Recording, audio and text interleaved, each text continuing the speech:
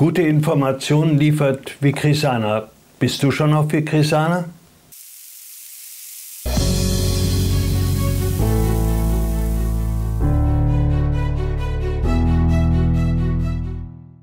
Herzlich willkommen, liebe Zuschauerinnen und Zuschauer, hier in unserem Format auf der Suche nach dem Sinn des Lebens. Ich habe vor drei Wochen eine Sendung gemacht mit einem Professor für angewandte Informatik und wir haben darüber gesprochen, Materialismus, Spiritualität und Religionen ein bisschen so ins wissenschaftliche Weltbild hineingefügt. Und heute möchten wir hier einen Teil 2 anfügen und uns damit fragen, gibt es da eine Geisteskrankheit in der Gesellschaft in Bezug auf Materialismus? Und diese Frage werde ich ihm heute auch stellen und darüber diskutieren, aber nach dem Intro. Bleiben Sie dran.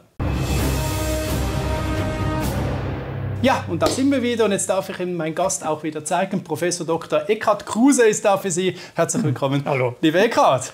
Ja, war eine schöne Reise, die erste Sendung. Mhm. Bin gespannt, wohin es heute geht.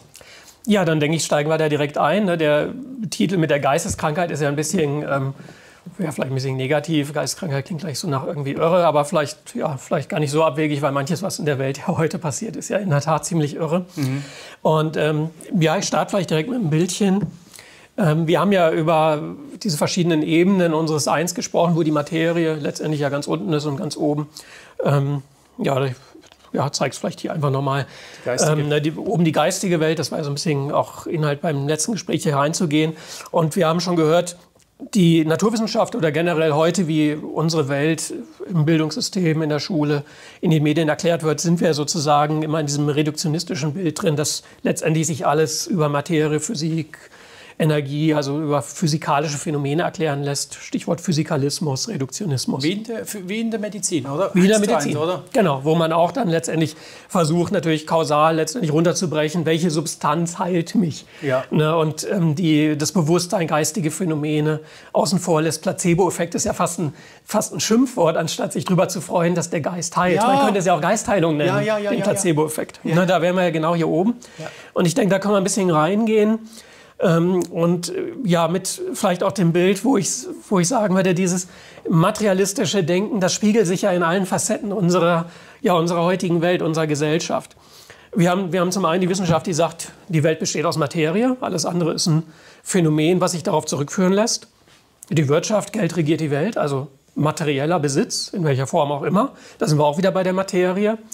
Und wenn wir an Staat, Gesellschaft, Politik denken, da ist ja typischerweise ne, die Aussage, Wohlstand bedeutet im Wesentlichen irgendwie Materie, wobei lustigerweise gibt es ja jetzt irgendwie in Deutschland, wollen uns ja manche Politiker jetzt auch noch erklären, dass Wohlstand, dass wir auch keinen Wohlstand brauchen.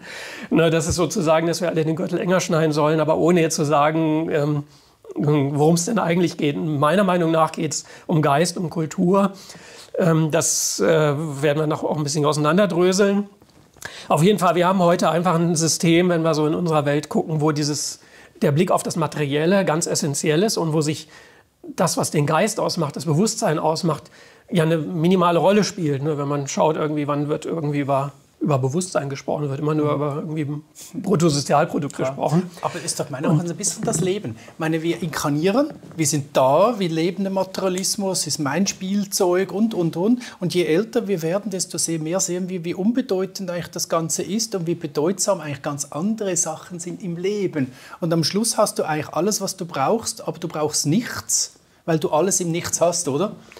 Bin ich ganz bei dir, wobei ich mir nicht sicher bin, ob ähm, wirklich sich viele Menschen oder das, was wir so irgendwie ja auch wieder über Gesellschaft, Bildungssystem vermittelt kriegen, ob da dieses Bild vorhanden ist. Also zu sagen, erstmal, ich will erstmal ganz in die Materie rein, der scheint schon, ne, auch so aus meiner spirituellen Perspektive irgendwie, ne, wenn wir hier irgendwie inkarnieren, Fleisch werden, scheint schon sowas sein. Es, mir geht es auch darum, ne, richtig sozusagen hier in diesem Körper, also nicht alles wegtranszendieren ne? oder irgendwie so Spiritual Bypassing-mäßig sagen, das ist alles nur Illusion, sondern glaube ich, gut, sich gesund zu ernähren, seinen Körper zu pflegen, also die, sich um die Materie in dem Sinne zu sorgen. Und auch, ähm, ne, ich würde jetzt auch nicht sagen, wir sollen alle Asketen werden oder so, ne? Mhm. sondern das Leben zu genießen mit den materiellen Vorzügen, da bin ich ganz bei dir. Ähm, nur das hat sich so ein bisschen verselbstständigt, ne? dass diese andere Seite äh, manchen mag sie im Alter dann irgendwie gewahr werden oder im Laufe ne, eines irgendwie gearteten Reifungsprozesses. Aber das ist ja nichts, was uns ähm, so in dem Umfeld, in dem wir uns bewegen, irgendwie jetzt besonders, irgendwie als besonders wichtig dargestellt wird. Ne? So dieses Thema, wie entwickle ich meinen Geist oder mein Bewusstsein oder wie werde ich ein liebevollerer Mensch. Das wäre ja eigentlich ein Thema, wenn die materielle Basis, wenn wir erstmal hier da sind, wie es dann irgendwie weitergeht. Ne? Also diese Rückverbindung mhm. auch in das Geistige dann zu machen. Mhm. Ähm, was ja eigentlich die Aufgabe gewesen wäre, eigentlich der Religionen, wenn es nicht bei der Religion wieder genutzt ne? wurde. Genau, die, die Rückverbindung, ne? wir sind jetzt hier irgendwie auf die Erde gelandet, aus welchen Gründen auch immer. Ne? Da mag, äh, mag man verschiedene Vorstellungen haben, aber es ist schon gut, sich zu erinnern, dass es da auch irgendwo eine Anbindung an was gibt. Und diese Anbindung, die ja, die müssen wir irgendwie entdecken. Und da sind ja die spirituellen Menschen unterwegs und da macht uns, sage ich mal, zum Beispiel in der Schule oder an Hochschulen, gibt es da keine Angebote. Ne? Also mhm. die dann sagen, hier, guck mal, wie du deine geistige Entwicklung gestaltest oder so. Ne? Das ist da kein Thema. Mhm. Insofern denke ich, kann man schon sagen, dass wir sehr an diesem äh, System gefangen sind. Und ich würde, ich blätter mal ein bisschen vor, weil ich habe ein paar Folien, die ich im letzten Vortrag nicht gezeigt habe, die das aber, glaube ich, ganz gut zeigen, warum wir da auch ein Stück weit gelandet sind. Nämlich unsere Naturwissenschaft hat eben einen Ansatz, ähm, der für Materie hervorragend funktioniert. Das ist nämlich der Ansatz des Messens und Objektivierens. Die Naturwissenschaft hat ja gerade das Programm, und das hat sie weit gebracht, ähm, uns von subjektiven Phänomenen zu trennen. Ich habe ein Messgerät, damit ist es nicht mehr irgendwie nach, ne, die Temperatur, oh, ganz schön warm hier, nee, 23 Grad, ne, fertig. Ähm, und ich hier damit ein Stück weit von der Welt. Und das ist ein Mechanismus, der funktioniert sehr gut für tote Materie. Ne, weil da kann ich, habe ich die Reproduzierbarkeit, ähm, da habe ich die Messbarkeit, da ist es egal, welcher Wissenschaftler das Messgerät oder das Thermometer in die Hand nimmt, da klappt das super. Was wir vergessen ist, das ist nur ein Teil der Phänomene in unserer Welt. Und ähm, ne, dieser, äh, dieses, dieser spirituelle ja, ESO, wie ich ihn immer nenne, der hat natürlich einen ganz anderen Zugang zur Welt. Ne? Da geht es um die Erfahrung, Selbsterfahrung, Stichwort. Ne? Ich will nicht irgendwie äh, was messen, sondern ich will die Welt selber erleben. Und ähm, ich nehme immer ganz gern das Beispiel der Liebe. Ne, die Liebe ist ja ein hochgradig subjektives Phänomen. Niemand würde sagen, dass es die nicht gibt, weil jeder kennt sie. Aber wenn der hier drauf gucken würde, dann würde er sagen, dann müssen wir erstmal eine placebo-kontrollierte Doppelblindstudie machen. Das heißt, wir nehmen zufällige Teilnehmer, äh, randomisiert. Ja, ja, ne? ja, liebt euch jetzt mal. Äh, liebt euch mal. Und wenn es dann doch noch klappt, dann müssen die nach zwei Jahren nochmal wiederkommen und sich nochmal neu lieben. Und spätestens da werden sie scheitern. Ne? Weil selbst bei Menschen, die, die man nachweislich geliebt hat, kann es ja sein, ne? nicht umsonst gibt Scheidungen, mhm. dass es nach zehn Jahren mit dem Lieben nicht mehr klappt. Also Reproduzierbarkeit der frischen, frisch Verliebbarkeit ist nicht gegeben. Na, das heißt, ähm, mal so ein bisschen spitzi, äh, spitzfindig gesagt, wenn Wissenschaftler das Phänomen der Liebe untersuchen würden, bin ich mir relativ sicher, dass die mit ihren Methoden sagen würden, es gibt keine Liebe. Das ist ein völlig irreal, kann es gar nicht geben. Placebo. Ne, ja, nicht mal, das gibt es gar nicht. Ne? Ähm, die Tatsache, äh, dass, dass die das nicht wagen zu sagen. Psychosomatik. Psychosomatik, genau. Die Tatsache, dass sie es nicht wagen zu sagen, ist, weil jeder kennt die Liebe. Mhm. Es gibt aber andere Phänomene, mediale Phänomene, irgendwie äh, physikalische Medialität, Extremphänomene, reden wir später noch drüber, die schwieriger greifbar sind und die nicht jeder kennt. Und da haben es die natürlich sehr leicht zu sagen, das gibt es nicht. Ne? Also jetzt ein, ein Medium zum Beispiel, was irgendwie ja, Botschaften empfängt, für die ist das völlig klar, natürlich gibt es das. Ne? Aber da nicht jeder anscheinend in der Lage ist, ne, irgendwie, was weiß ich, zu channeln oder mediale Botschaften zu empfangen, kann man das viel leichter ausgrenzen als das Phänomen der Liebe. Mhm. Aber wir sehen natürlich mit diesem Ansatz, der uns ja auch sehr weit gebracht hat, grenzen wir einen Teil der Welt aus und haben sozusagen diese wichtige Bewusstseins- und geistige Perspektive im Prinzip dann ja, sozusagen weg, weggemessen. Also das ähm, ist so ein bisschen so der Hintergrund und ich finde es interessant, da nehme ich auch mal gerne dieses Bild, das ist nicht nur ein Wissenschaftsphänomen, sondern wie wird heute sozusagen die Welt vermittelt? Ähm, man kann mal mit dem Wort Flachbildfernseher, ja, das ist ja sozusagen für viele Men Menschen ein wichtiges Fenster zur Welt. Also wie ist der Zugang zur Welt? Über den Flachbildfernseher. Das heißt, was haben wir da alles? Ne? Die Tiefe geht verloren flach. Und das Bild ist nicht mehr die Wirklichkeit, sondern nur ein Abbild oft genug ein verzerrtes Abbild, immer öfter ein verzerrtes Abbild. Das heißt, wir, haben nicht mehr, wir sind nicht mehr dran an dem, was wirklich ist, sondern an dem, was irgendwie irgendjemand für uns aufbereitet und dann sagt, so ist es. Das nahe Berührende geht natürlich beim Fernen verloren. Ne? Das Sehen ist ein Fernsinn, ähm, Nahsinne, Berührung ähm, oder auch eine, so sensorische Dinge schmecken, äh, riechen sind natürlich Dinge, die auch typischerweise viel emotionaler und näher herangehen. Das wird uns auch sozusagen genommen bei diesem Gerät der Realitätsvermittlung. Naja, und Sehen ist halt eben hm, ja, kann auch ein Fühlen hervorrufen. Und ähm, um den Begriff noch ein bisschen mehr zu strapazieren, damit wir jetzt über den Flachbildfernseher trotzdem noch Wirklichkeit präsentiert kriegen, gibt es ja dann diese Formate des Reality-TVs, wo man uns dann die Wirklichkeit über dieses Gerät schickt. Und ähm, da die natürlich da nicht so, naja, nicht so berührend ist wie jetzt irgendwie, eine, was weiß ich, und sei es nur ein Streicheln über die Haut, äh, braucht man hier natürlich wesentlich stärkere Reize und dann landen wir bei der Sensationslust die ja eigentlich was Gutes ist, wenn ich das Wort Sensation, Sensation, ne, das Gefühl, also die Freude am Gefühl ist ja was Gutes. Mhm. Nur die Sensationslust ist natürlich dann die Gier nach möglichst viel Gefühlen, die ich hierüber eigentlich gar nicht kriegen kann. Mhm. also das mal so als kleine, kleiner Denkanstoß zu dem, wie auch im Alltag dieses, ne, dieses Weg von der Wirklichkeit sich in unseren Bereich, ne, oder auch Internet kann man natürlich genauso nehmen. Ne, auch da sind wir im Prinzip hängen wir auch im Flachbildfernsehen. Also da sind wir auch ein gutes Stück von dem, wirklich von der Selbsterfahrung im besten Sinne des Wortes entfernt. Na, also da finde ich, spiegelt sich auch wieder was, ne? diese Geisteskrankheit wieder, womit wir unser Bewusstsein, unseren Geist in der heutigen Welt typischerweise füttern. Mhm. So, das war so ein kleiner. Und eigentlich krank machen, ja, wenn man das Wort das Krankheit auch mit einbeziehen. Eigentlich machen wir uns da krank. Ja, weil wir einfach natürlich einen wesentlichen Aspekt unseres Seins weglassen. Ne? Mhm. Und, und den wir nähern müssen. Natürlich müssen wir unseren Körper nähern, aber wir müssen auch unseren Geist nähern. Ne? Und ähm, tatsächlich sehe ich es auch. Ähm, diese Dinge sind ja auch sehr schnell getaktet. Das ist ja interessant, wie so die Schnittfrequenzen ja. schneller werden im Vergleich zu früheren Filmen, ne, wo dann irgendwie minutenlang eine Einstellung war. Mhm das zerhexert ja auch so unsere Gegenwart mhm. und ähm, bringt uns immer weiter vom Jetzt. Ich bin ein totaler Eckart Tolle-Fan, nicht nur wegen seines schönen Vornamens. Ne? Es bringt uns immer weiter vom Jetzt natürlich auch weg. Ich, ich merke das auch bei den Studenten. Ist ein Extrembeispiel, das ist schon, schon was gruselig. Ne? Ein Student stellt mir eine Frage und noch während, währenddessen ich die Frage beantworte, merke ich, wie sein Bewusstsein schon wieder wegdriftet und er die Antwort nicht mehr hört. Also solche Phänomene gibt es weil wir da immer schneller getaktet sind, die Aufmerksamkeitsspanne immer kürzer wird und diese innere Unruhe, und das ist ja auch eine Geisteskrankheit, anscheinend auch immer größer wird. Also auch mal irgendwie, was weiß ich, essen, ohne aufs Handy zu gucken oder irgendwo zu sitzen. Ne? Wenn, früher saßen Leute an der Bushaltestelle und saßen da. Ne? Jetzt haben die immer irgendwas Tja. in der Hand. Es ist schon verrückt. Auch meine, die Kinderfilme früher, Lassie, Dick und Doof, das ging alles langsam, oder? Und heute, tasch, tasch, tasch, Na, Und das hat ja was sozusagen Meditatives, also das in dem Augenblick auch in Ruhe verweilen. Und und äh, dieses, ne, dieses Zack, Zack, Zack heißt ja auch immer, ich will von dem, was jetzt und hier ist, weg. Ne? Ich sitze an der Bushaltestelle, hier will ich nicht sein. Also muss ich ein Handy nehmen und das ist ja ein Gerät, was mich sozusagen woanders hinbeamt, bewusstseinsmäßig. Ne? Ich bin bei einem anderen Menschen, wenn ich mit dem vielleicht irgendwie gerade kommuniziere, ich bin am anderen Ort und ich bin thematisch ganz woanders. Das heißt, es bringt uns immer von dem weg, wo wir eigentlich gerade sein könnten. Ne, hängt natürlich mhm. auch mit diesen Geräten irgendwie zusammen. Ne? Das ist ja auch ein Gerät, was uns vom Hier und Jetzt wegbringt. Aber diese ganze Beeinflussung von solchen Medien oder eben auch diese Sensationslust, das macht doch was mit uns. Also wir werden doch viel mehr zu dem, was uns da vermittelt wird, oder?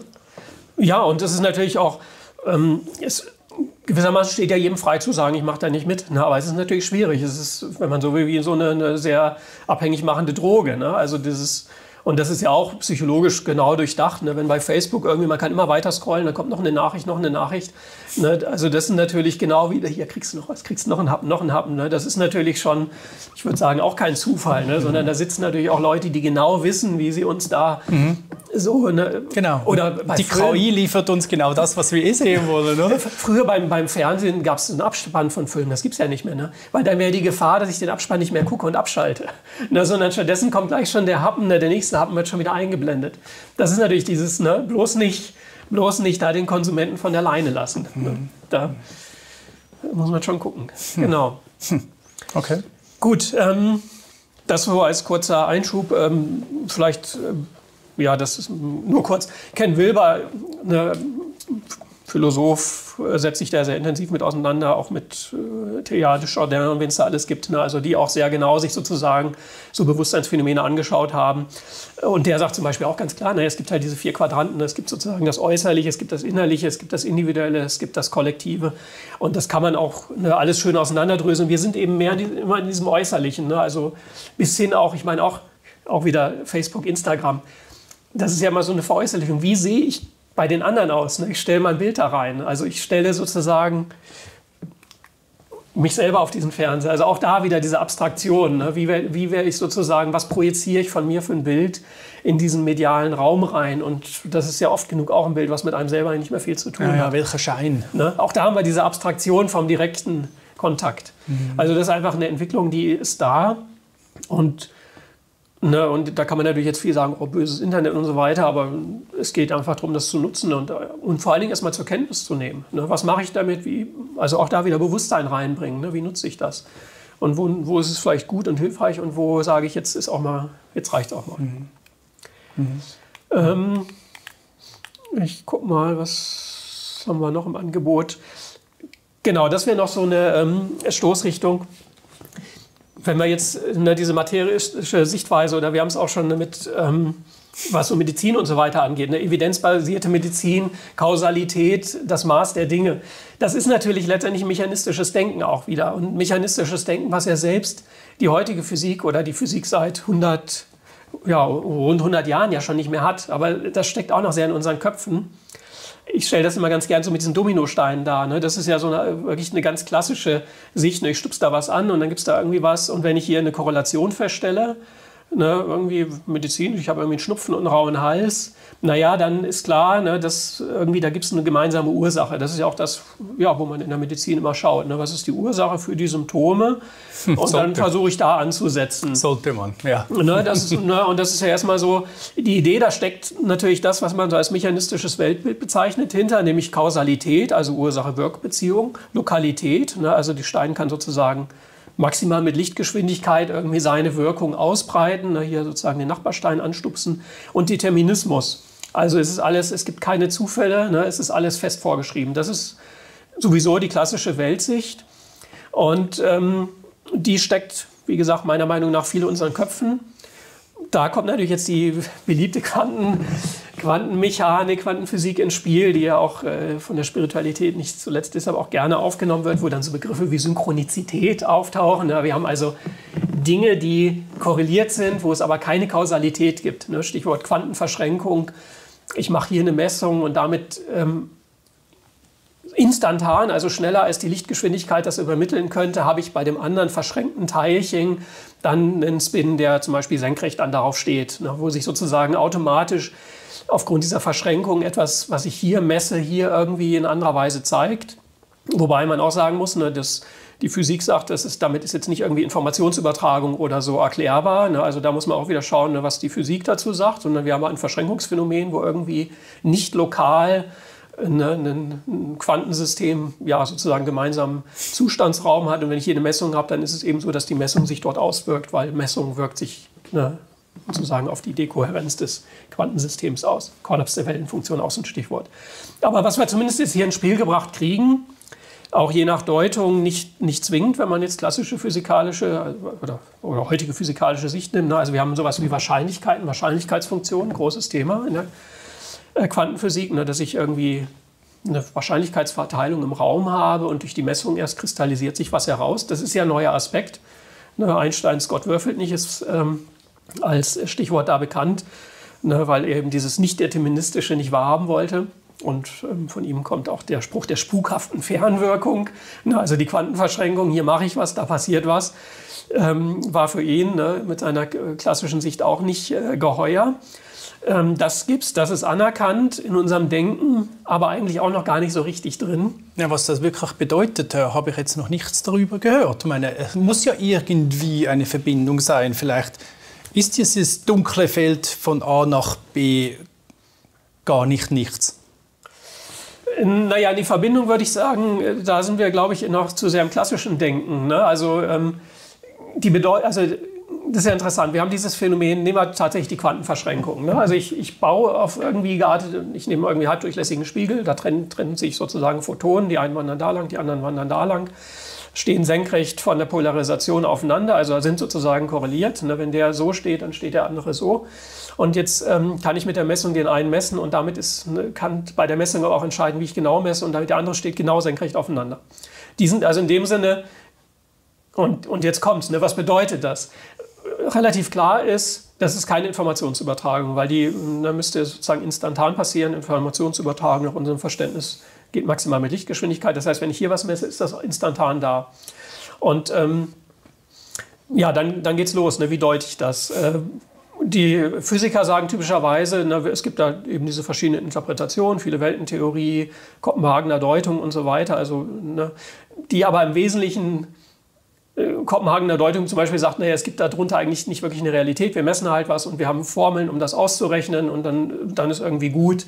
Und wir wollen jetzt auch nicht mit groß Bewusstsein oder irgendwas da rein interpretieren. Ne? Da ist dann eher so der spirituelle Mensch schnell da, der sagt, ja, das Bewusstsein erschafft Realität. Also da würde ich sagen, Vorsicht, es öffnet einen Raum für Bewusstsein, es öffnet einen Raum vor allen Dingen erstmal für Nicht-Determinismus, weil bevor etwas hier konkret wird, ist es irgendwie mit Wahrscheinlichkeiten, ne, auch ähm, Doppelspaltexperiment, also ist sozusagen mit, mit Wahrscheinlichkeiten belegt. Das heißt, irgendwie scheint da sowas bei dem Kollaps der Wellenfunktion was äh, raus zu materialisieren, was vorher nur in so einem Möglichkeitsraum ist. Ne? Das klingt dann natürlich schon wieder sehr schön spirituell. Ne? Wir haben einen Möglichkeitsraum und dann wird eine konkrete Wirklichkeit erschaffen. Und wenn wir jetzt noch das i-Tüpfelchen hätten, das Bewusstsein macht das, dann hätten wir auch Platz für freien Willen, dann wäre alles gut, sage ich mal, so aus unserer Sicht. Mhm. Na, aber das, ähm, da würden zumindest die heutigen Physiker nicht sagen, jo, passt, sondern ja, könnte sein, aber vielleicht ist auch ganz anders, will ich gar nicht so genau wissen, bin ich nicht für zuständig, ich rechne hier meine, ne, meine Formeln durch und äh, meine Heisenberg-Gleichung und so weiter. Mhm. Ähm, aber es öffnet zumindest eine Tür. Ne?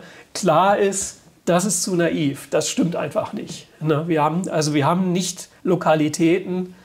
Ne? Und ähm, ja, C.G. Jung hat sich ja auch ganz wunderbar sich damit beschäftigt, mit ne, dem Begriff der Synchronizität geprägt. Wir haben also tatsächlich Dinge, hier passiert was, hier passiert was, die sind korreliert, die haben miteinander zu tun.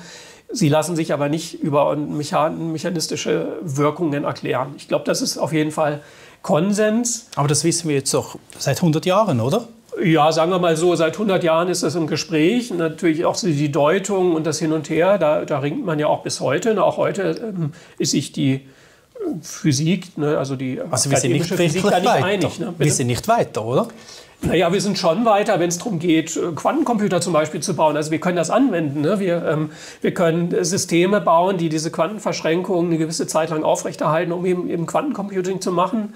Ähm, da, da sind wir auf technischer Ebene durchaus weiter. Auf philosophischer Ebene haben wir immer noch ähm, viele Weltentheorie, Kopenhager Deutentum, versteckte Variablen, also die Idee, dass diese Wahrscheinlichkeiten nicht wirklich Wahrscheinlichkeiten sind, sondern irgendein verborgenes System da noch hintersteckt, was wir nur noch nicht erkannt haben, was dann doch völlig deterministisch ist. Ne? Also auch der Determinismus ist noch nicht ganz aus dem Weltbild raus. Auch jetzt die Entwicklung einer ähm, Wellenfunktion per se ist erstmal vollkommen deterministisch. Ne, die Formeln sind, ne, die ist nicht so, dass ich eine, jetzt irgendwie ein Quantensystem zufällig entwickelt. Nur ähm, es entwickelt sich halt nicht mehr ein festes Teilchen von hier nach da, sondern ich habe eine, ja, letztendlich eine, eine, einen Zustandsraum, ne, oder Zustandsvektoren mit Wahrscheinlichkeitsverteilung, die kann ich aber ganz deterministisch berechnen, wie die sich, wenn wir jetzt beim Quantencomputing wären, ne, wie die sich durch einen bestimmten Baustein verändern, ne, wie sie sich transformieren. Das kann ich genau deterministisch berechnen.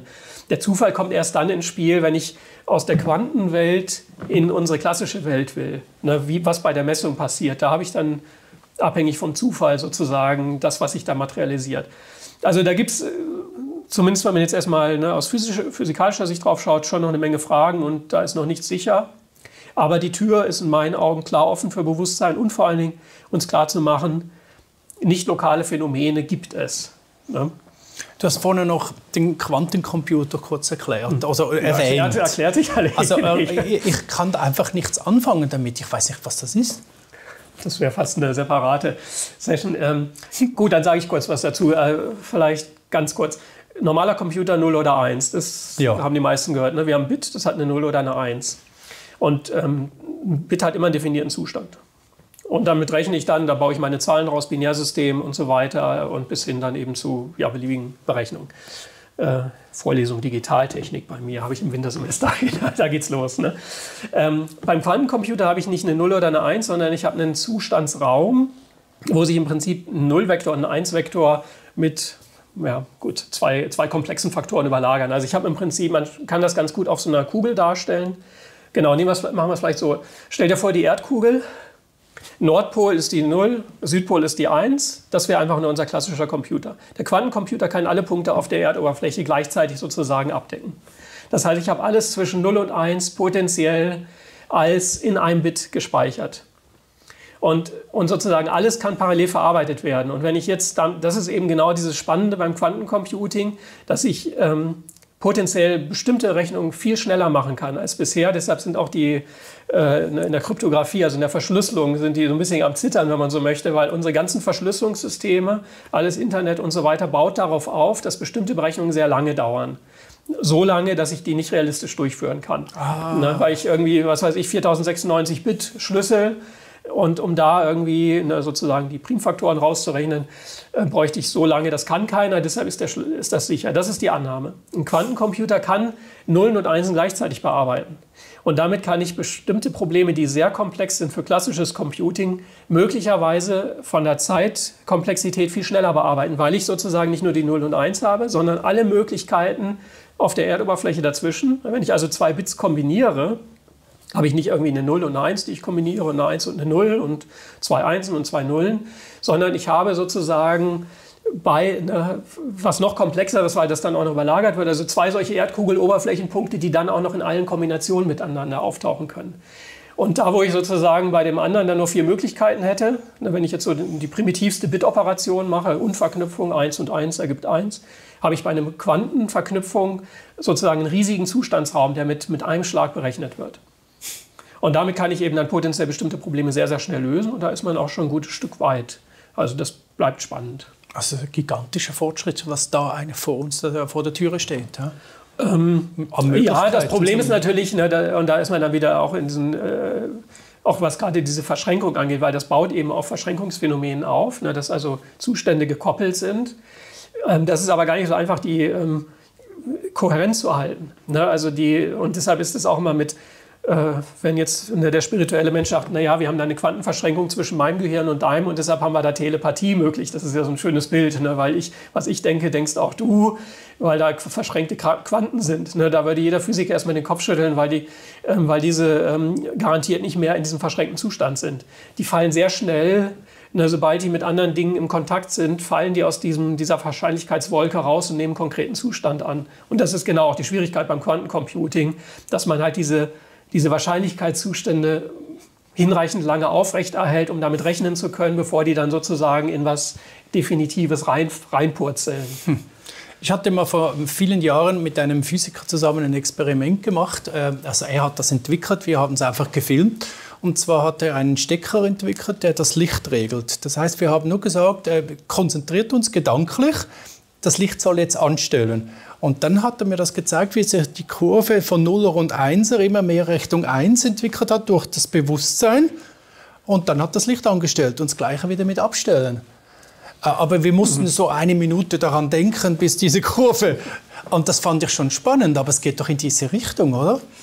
Ähm, also ich glaube, dass es solche Phänomene gibt. Also bei Psychokinese im weitesten Sinne. Nur der Geist hat eine materielle Wirkung, Fernwirkung, wie auch immer, die nicht physikalisch erklärbar ist.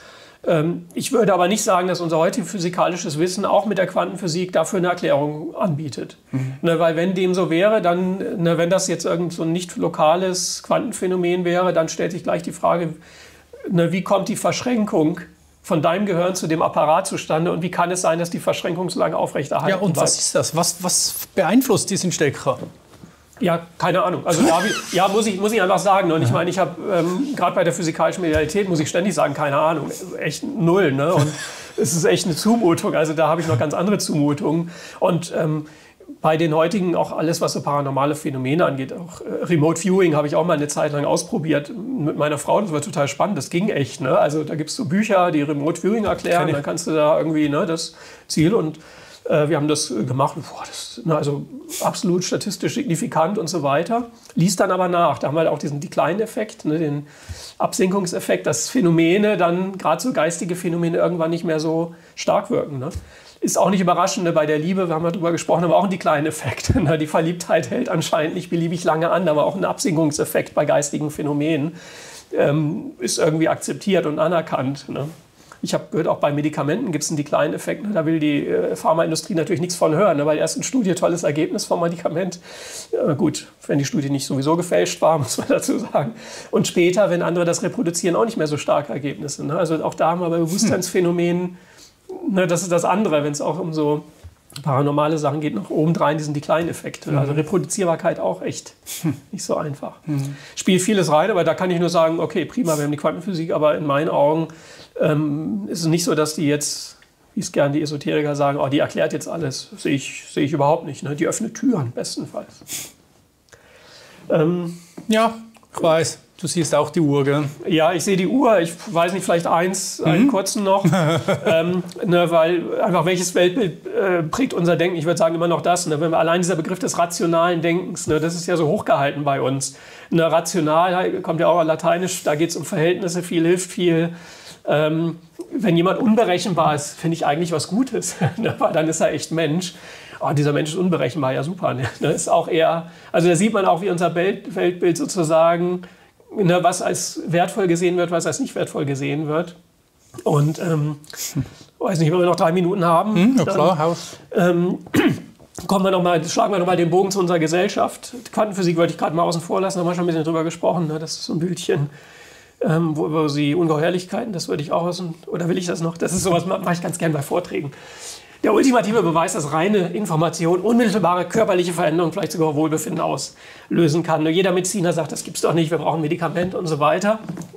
Jetzt kommt's. Manche halten es für ein bisschen gemogelt. Achtung.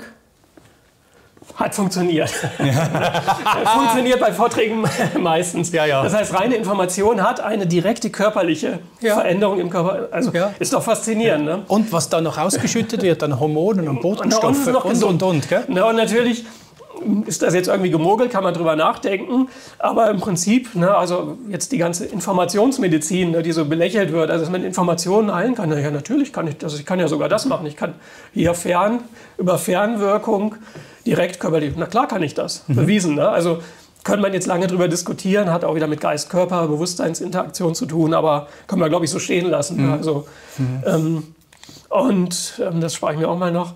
Das andere, was dieses rationale Denken angeht, ist, wenn wir jetzt den Bogen noch kurz zur Gesellschaft ähm, schlagen wollen, ne, typischerweise, wenn es irgendwie ne, viel hilft viel, das ist ja das Wirtschaftswachstum, wir brauchen mehr von dem Gleichen. Ne? Also da diese neue Sichtweise auch zu kriegen, naja, Wachstum in der Natur sieht ja anders aus. Ne? Da wird die Zwiebel, irgendwie die Blumenzwiebel nicht immer größer, ne? sondern da entfaltet sich was, also die Gestalt ändert sich. Und das ist natürlich auch wieder ne, weg vom Rationalen, vom Verhältnisdenken zu einem qualitativ, qualitativen Denken. Ne, also auch da so als kleiner äh, ein schönes Bild, ja? mega schön. Und, ähm, und, was ist wirklich bedeutsam? Zeigt genau, ne? auch, also, und ich meine, weil es gibt ja auch diese Zero-Growth-Initiativen, die sagen, wir wollen kein Wachstum. Da würde ich auch widersprechen. Das ist auch noch, das ist noch in diesem Denken. Ich will auch nicht, dass die Wolkenkratzer immer höher werden, aber natürlich will ich Wachstum. In dem Sinne, im Sinne von Entfaltung, Entwicklung.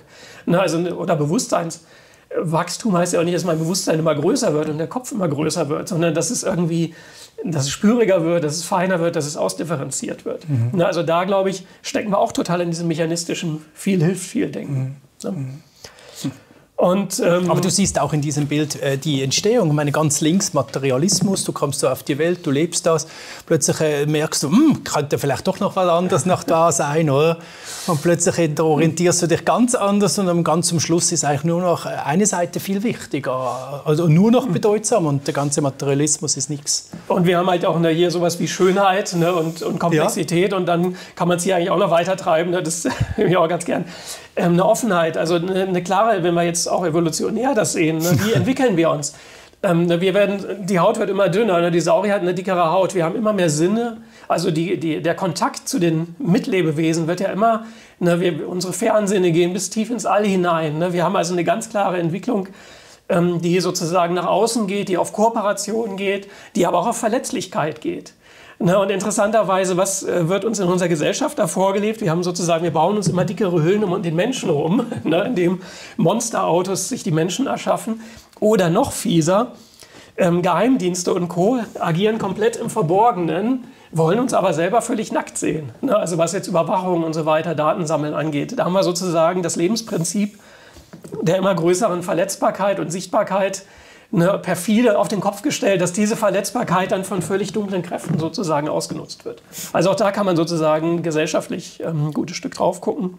Und dann vielleicht ja die Zielgerade einfach, ne, das wäre sozusagen dann das Wunschbild, dem wir begonnen. Ne, also ähm, naja, wo soll es hingehen? Ne? Also Welt ist viel mehr als Materie, das ist sicherlich der Aufhänger, ne? was, denke ich, auch den Zusehern mhm. vermutlich ohnehin klar ist. Das muss aber hier reinfließen. Ne? Mhm. Also natürlich bei einem selber erstmal anfangen, ne? wie, wie gehe ich mit der Welt um. Aber dann hoffentlich ähm, spiegelt sich das auch im Kollektiven mhm. wieder. Ne? Das auch mal ja, die Politik sagt, wir müssen mehr in Bewusstseinsentwicklung investieren oder mhm. so, wobei dann wahrscheinlich Tja. die Politiker bei sich selbst erstmal anfangen Tja. müssten. Da was braucht es, was braucht's, um diesen Schritt zu machen? Naja, da ähm, ganz einfach wieder bei sich selber anfangen. Ne? Also ja, das ist die einzige Lösung. Ne? Also ne, die Welt verändern. Tja, halt oder nochmals 100 Jahre warten, oder? Ähm, naja, der Trick ist also zumindest ich ganz konkret für mich persönlich, ne, jetzt auch gerade in den letzten Jahren, wo im Außen ja vieles äh, echt eine Zumutung war, ähm, ich sage mal nur, ich lasse mir den Spaß nicht verderben hier ne, auf der Erde. Also ich gucke, dass ich gut vorangehe und dass ich ja, letztendlich in der Liebe bleibe und irgendwie mhm. auch im guten Kontakt zu mir und meinem, meinem menschlichen und sonstigen Umfeld. Das ist ein schönes Zitat. Ich lasse mir den Spaß nicht verderben. Genau. Äh, der diese Zeit, auch wenn sie wild scheint, äh, mit sich bringt. Ähm, Finde ich ganz cool aber auch nicht mehr alles glauben, was uns da um die Ohren gehauen wird. Ja, ja. Danke ganz herzlich. Mhm. Professor Dr. Eckhard Kruse war das für Sie, liebe Zuschauerinnen und Zuschauer. Und ich hoffe, wir konnten da ein bisschen aufzeigen, wo im Moment auch die Wissenschaft steht oder was Materialismus eigentlich bedeutet und ja, wohin die Reise eigentlich geht, dass es doch alles viel, viel komplizierter ist, als es uns immer wieder vor die Augen geführt wird. Für mich immer wieder spannend, mich mit solchen Informationen von wissenschaftlicher Seite zu beschäftigen und bin ganz gespannt, was er uns in Teil 3 sagen wird, den wir Ihnen ebenfalls wieder in drei Wochen zur Verfügung stellen dürfen. In diesem Sinne alles Gute, bis ein anderes Mal und auf Wiedersehen miteinander.